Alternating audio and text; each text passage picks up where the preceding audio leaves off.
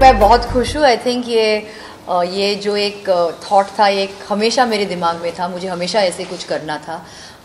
जो भी मेरे करीब है, जो भी जानते हैं मेरे कॉलीग सब जानते हैं, मुझे फिटनेस इतनी अहम हिस्सा है मेरे मेरे लाइफ में। तो ऑब्वियसली जब मुझे ये अपॉर्चुनिटी मिला, मैं तो एक सेकंड के लिए मैं, मैंने वेस्ट नहीं की। And I think I was really happy कि मैं, और इनका जो एक डेडिकेशन है, उनका जो एक ईगरनेस है, उनका जो एक से यू नो इट्स अनबिलीवेबल बहुत कम लोगों में ऐसे मैंने देखा है।